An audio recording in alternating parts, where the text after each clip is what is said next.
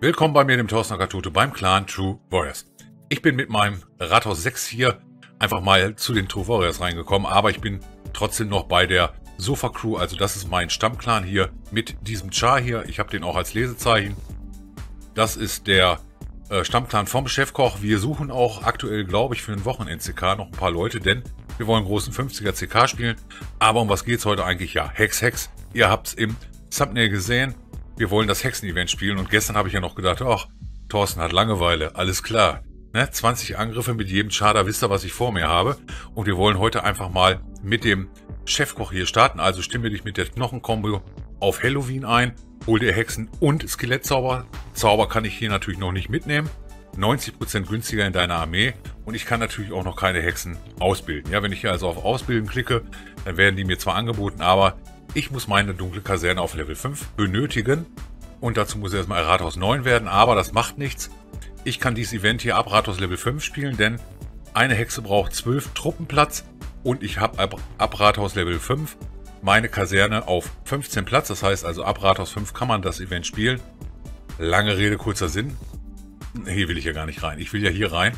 Und ihr seht das auch, also es ist eigentlich nicht unrealistisch, dass ich mit diesem Char hier heute einfach mal beginne, denn wir machen das auch mit 8, 9 und mit Rathaus 10. Gar keine Frage. Aber ich muss mit diesem hier auch extrem farmen hier.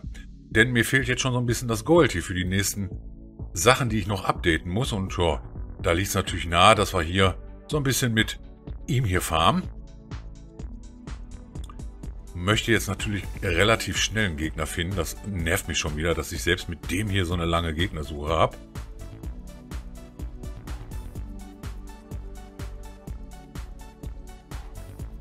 Und deswegen nehmen wir den auch mal mit hier. Ich habe jetzt ein bisschen, ich habe jetzt kurz mal vorgespult.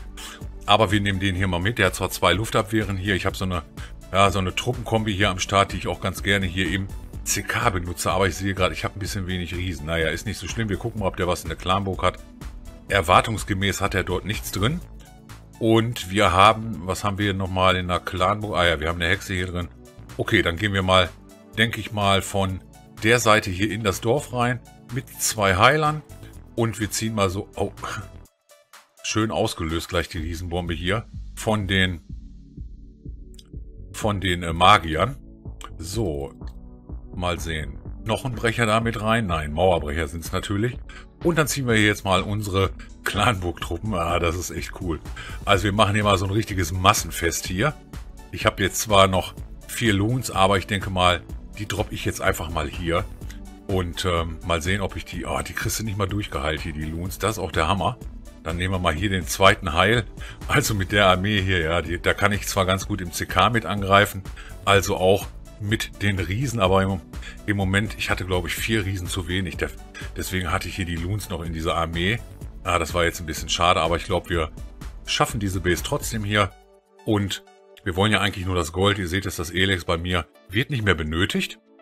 Denn ich habe alle Forschungen durch mit dem Rathaus hier, habe alle Kasernen fertig und auch alle Goldlager. Das heißt, ich muss mit dem Elex, Elex jetzt erstmal nichts mehr bauen. Und deswegen brauchen wir hier Gold. Das Coole ist, wenn der Angriff hier gleich vorbei ist, ich lasse den auch durchlaufen, denn auch die Pokale kann ich ja mal ganz nett gebrauchen. Dann kann ich die Armee gleich wieder, gleich wieder, sofort wieder verwenden. Denn die hat ja noch keine ähm, Wartezeit hier, was ähm, Helden angeht, denn ich habe ja noch keinen. Also können wir hier sofort wieder diese Truppe bauen. In der Schnellausbildung mache ich das mal eben. Und fordere auch sofort wieder Truppen an. Die gebe ich mir mal eben selber. Das ist natürlich auch der Vorteil. Deswegen bin ich auch hier beim Clan True Warriors. Denn ich wollte jetzt nicht lange warten, dass ich die Folge hier machen kann. Auch mit dem Rathaus 6er hier. Also den ersten Punkt haben wir hier drin. Und ich meine 200 Juwelen. Das ist natürlich auch, ist auch sehr, sehr krass. Und auch die 600 EP sind, sind natürlich nett. Warum sind die nett? erkläre ich euch einfach mal. Denn im Shop ab einem gewissen Level kann man sich hier Dekorationen dazu kaufen. Und ich glaube, man muss hier hinten, wenn ich jetzt mal ganz nach hinten scrolle, ähm, da, Erfahrungslevel 75 ist dafür erforderlich. Ja, und je mehr EP mache, ich mache, desto schneller werde ich auch Erfahrungslevel 75 und kann mir die Statue von Pekka hier gönnen. Aber wollen wir gar nicht machen. Wir wollen hier nochmal angreifen und ich hoffe, jetzt muss ich diesmal nicht vorspulen oder so lange warten hier. Denn wir haben ja noch 8, 9 und 10 vor uns. Also kann sich so eine Folge natürlich auch mal hinziehen. Ja, ärgerlich.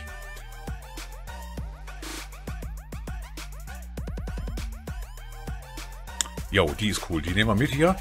Denn äh, ich glaube, hier holen wir am ehesten mit unseren Truppen so ein bisschen was. Dann habe ich wenigstens mal... Ah, jetzt, jetzt habe ich sie auch dabei. Ja, Ihr seht das, jetzt habe ich auch acht Mauerheinis hier dabei. Und ich denke mal, wir nehmen die Base von, von der Seite hier. So, die Heiler dahinter und ein paar Magier. Dann ja, sind natürlich meine Mauerbrecher jetzt schon durch. Dann sollen sie die Mauer auch noch aufmachen. Das ist, das ist jetzt nicht so schlimm. Und wir schicken die Clanbuch hier mit rein. So, ah, da sind ja zwei Maxed, Maxed Out Magier natürlich jetzt mit drin, dadurch, dass wir hier zwei Clan-Level vorkriegen und ich heile hier einfach mal durch. Denn die Heilung von den Heilern, die geht jetzt auch schon, auch schon so ein bisschen woanders drauf. Und ähm, ich muss immer so ein bisschen aufpassen, gerade mit meinem Bogenschützen, auf die, auf die Minenwerfer hier. So, jetzt gehen alle nochmal einen kleinen Schritt nach vorne. Oh, Glück gehabt. Oh, da habe ich Glück gehabt, glaube ich. Da habe ich Glück gehabt, also schicke ich die hier nochmal Stück für Stück rein. Aber so eine Base ist natürlich cool, gerade für die Hexe. Und ich gehe mal ein bisschen näher rein. Jawohl. So sieht das gut aus. Und ich hoffe, den schaffen wir auch wieder auf drei Sterne. Ja, ich denke mal, das wird in jedem Fall was. Der ist ja auch Rathaus 6 gewesen, glaube ich. Und ähm, aber längst nicht so stark wie meine Base. Also haben wir hier schon mal mit Rathaus 6 das Event ja, zweimal gespielt, also nur noch 18 Angriffe hier. Trotzdem für mich relativ viele. Wisst das durch die Mehraccountigkeit möchte ich natürlich auch ganz gerne, vor allen Dingen mit diesem Account hier, alles mitnehmen, denn die 200 Juwelen, die bringen mich noch näher an den fünften Bauarbeiter. Ihr seht das hier, durch Abbauen von Büsche und Bäumen etc. habe ich jetzt schon 718 Juwelen wieder auf diesem Konto hier. Das ist auch richtig, richtig nice. Und ich freue mich auch, wenn es hier mal dann bei 2000 steht und ich den fünften Bob habe. Aber jetzt springen wir erstmal auf das Rathaus 8. Hier also jetzt auf meinem Rathaus Level 8 Account auf dem Schief. Und äh, der Schief kann ja auch die Hexen selber noch nicht bauen. Also der Unterschied übrigens von Rathaus 6 zu Rathaus 7 ist keiner. Denn bei Rathaus 7 geht das, geht ähm, die ähm, Clanburg geht an der Stelle nicht hoch. Das heißt, die geht erst bei Rathaus Level 8 hoch und dementsprechend kannst du zwei Hexen mitnehmen. Ja, zwei Hexen hier in der Clanburg und ein Bogenschützen hier. Das ist auch eine nette Kombi hier für Rathaus Level 8, auch für ein CK. Und ich habe auch so eine kleine CK Armee hier ausgebildet, denn ihr wisst, der Barfuß hier wartet auch nur darauf, dass der Chefkoch endlich 8 wird und der Barfuß auch mal 9 wird. Was dann dann noch so, da, so dazwischen liegt, das sei mal in den Sternen, aber wir suchen hier auch mal eben ein Gegner. Ich brauche ein bisschen Dunkles hier. Ich habe nämlich ganz schön viel verloren, beziehungsweise ich habe ganz schön viel oder ich habe ganz schön damit rumgeast. Und ähm, ah, der ist eigentlich cool. 1336, denn ja, okay, das ist, das ist zu wenig. Das ist zu wenig, da müssen wir ein bisschen mehr machen. Denn ähm, so einen schönen äh, Max RH8 oder so, den hätte ich hier jetzt schon ganz gerne. Damit sich das Ganze auch lohnt. So um die 2000 Dunkles darf er denn auch haben, dass sich es auch richtig lohnt. Aber hier, na, die sind mir alle ein bisschen klein.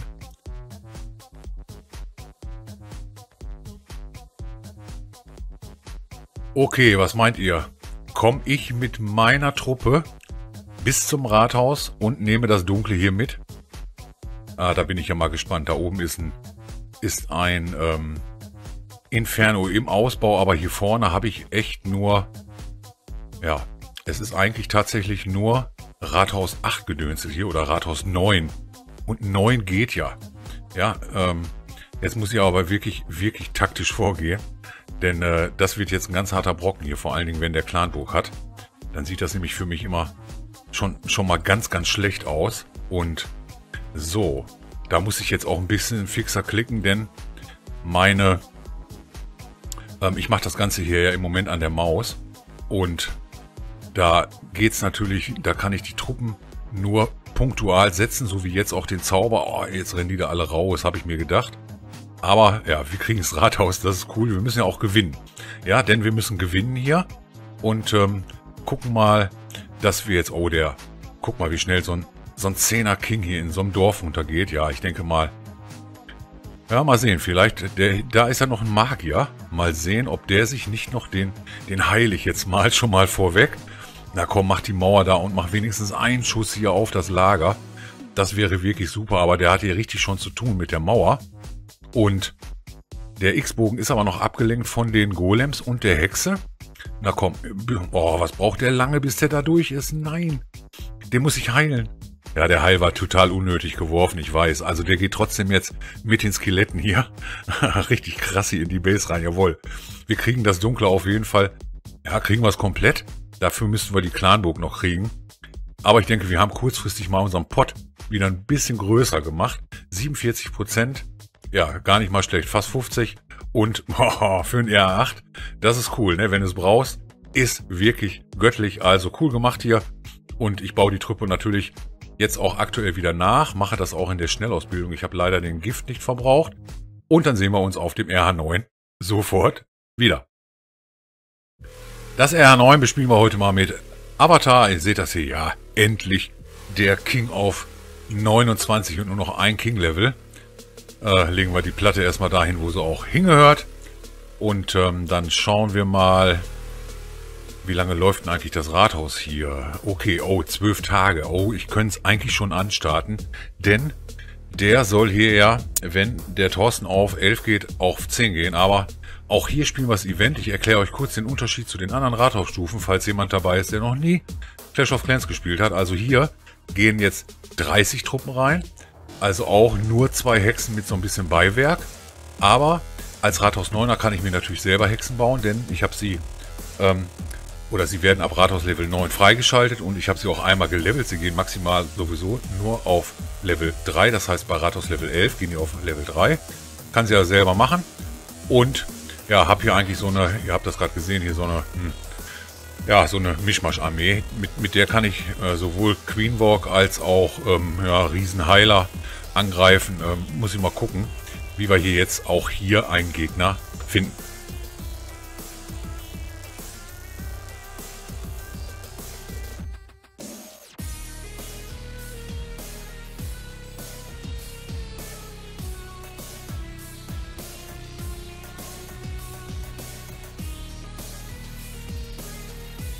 So, den nehmen wir jetzt mal mit. Endlich habe ich einen gefunden. Ihr habt das selber gesehen, das dauert hier auch ganz schön. Denn der ist ganz schick hier für uns. Ähm, ich würde sagen, wir machen kein Queen Walk, sondern wir machen, ähm, ah, wir machen das einfach mit den Riesen hier. Komm, wir machen das mit den Riesen und den Heilern an der Stelle. Oh, die gehen jetzt gleich auf die, auf die Luftabwehr. Das ist natürlich unschön, aber es ist egal. So, dann ziehen wir hier... Ach, Zehn Mauerbrecher wieder, Toto. Alles klar, ey. Alles klar. Mann, Mann, Mann.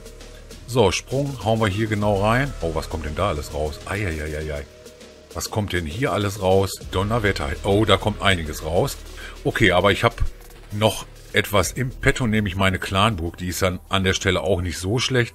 Und ich habe auch noch ein paar Hexen am Start hier. Also, sieht ganz gut aus. Ich denke mal, das kriegen wir in jedem Fall. Hier hauen wir nochmal den Wut rein jetzt. Und Jetzt kommen mal von hier, kommt jetzt mal meine Clanburg. So, die schicke ich jetzt mal über die Ecke hier auf die Reise. Und werde die allerdings hier jetzt einmal heilen. Ich habe ja nur einen Hals. Oh, oh. oh Mensch, gehen die in den Heilzauber rein. Ah, jetzt gehen sie doch in den Heilzauber rein. Okay, der war natürlich jetzt ein bisschen so halb fail, denn da war der Flächenschaden. Ich habe gedacht, die gehen wenigstens auf die, auf die Magiertürme. Da gehen die da nicht hin. Naja gut, dann holen sie mir noch so ein bisschen was raus hier.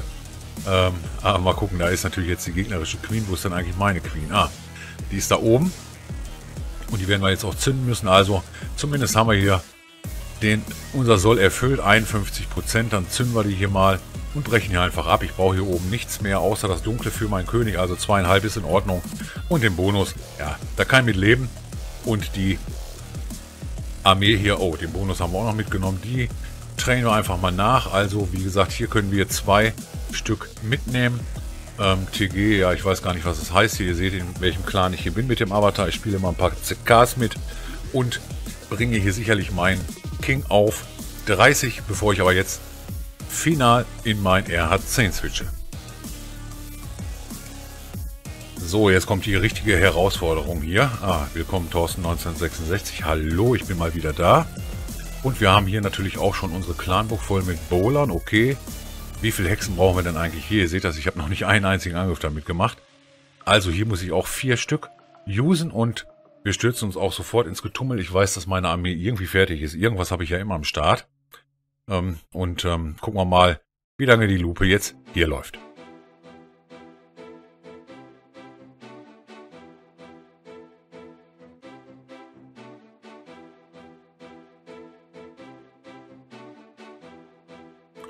Ja, Russian wird belohnt. Russian wird belohnt. Nämlich mit einem Sieg von mir. Der hat zwar jetzt nicht so super viele Ressourcen, aber wir wollen ja auch nur das Event hier gewinnen. Also gehen wir hier mal... Oh, jetzt müssen wir mal gucken, wie wir das am einfachsten machen. Ich glaube, wir gehen hier... Hier machen wir wirklich mal einen Queen Walk. Vorweg. Ähm, denn wir haben ja nichts zu befürchten hier. Kein, kein Adler, kein Inferno. Also nur so ein bisschen Truppen auf Rathaus Level 9. Niveau hier. Und äh, mal sehen, ob wir hier nicht gleich schon mal die Clanburg irgendwie gelockt bekommen. Ich glaube mal nicht. Wir müssen erst mal ein bisschen abwarten, wo die Queen jetzt hingeht. Aber ich denke mal, die wird... Ah, okay, die geht jetzt nach da. Jetzt kriegt sie schon ein bisschen mehr Beschuss hier. Da müssen wir mal eben die Heiler einmal ein bisschen in Wut versetzen. Okay, Warden hat er. Und dann testen wir hier einfach mal ein bisschen was an. Okay. So, jetzt müssen wir hier natürlich ein bisschen funneln. Und irgendwie, oh, das ist mir aber auch schon wieder unheimlich hier. Das ist mir schon wieder unheimlich. Schon wieder 10 Mauerbrecher hier. Mann, Mann, Mann, Mann, Mann. Aber ich glaube, ich habe jetzt gleich alle Truppen hier drin. So, nur noch die vier Hexen. Und dann kann das hier losgehen. Und der hat auch ein bisschen Clanburg. Ja, okay, so ein bisschen hat er. Wenn auch nicht super viel. Aber ich denke mal, wir könnten hier vielleicht nochmal rüberspringen. Ich habe noch drei Magier dabei. Die nehmen wir hier auch mal mit ins Getümmel. Und wo tut es uns denn am meisten im Moment weh? Oh, das sieht noch ganz gut aus. Das sieht alles noch ganz gut aus. Alles schön in Heilung hier. Und okay, da sieht das nicht so gut aus. Da sieht das nicht so gut aus. Dann müssen wir jetzt einmal kurz ein bisschen unseren König in Rage bringen, dass der hier die Clanburg macht. Und das sieht eigentlich ganz gut aus. Ja, gewonnen haben wir sowieso schon. Äh, das ist natürlich schon mal nett. Hier hinten noch ein Burgi gesetzt. Ähm, ja, den nehmen wir mal da mit rein. Und jetzt könnten die Heiler eigentlich mal auf meinen King umschwenken. Ah, haben sie auch schon, aber die schaffen das nicht, den richtig hochzuhalten, weil der natürlich im Moment die gesamte Power hier bekommt. Und ob ich das jetzt noch schaffe, das weiß ich nicht. Aber ich zünde auf jeden Fall meine, meine Queen rechtzeitig. Ja, ich habe es nicht vergessen, Leute. Das ist auch super. Und die macht jetzt auch noch den Tesla, jawohl. Aber da ist auch für die Geschichte, naja, 79%, alles cool. Ich wollte nur gewinnen, nur fürs Event. Und ähm, Ressourcen habe aber trotzdem noch mit dazu geholt. Alles in Ordnung hier. Auch bei meinem RH10er also. Was haben wir aber heute eigentlich gelernt? Dass zwar der RH10 hier 35 Truppen aufnehmen kann, es reicht aber trotzdem nicht für drei Hexen. Ja, drei Hexen, 36 Platz. Passt nicht, also auch der RH10 und auch der RH11 können nur zwei Hexen mit in der Clanburg mitnehmen. Können dafür natürlich noch etwas mehr an anderen Truppen dann mitnehmen.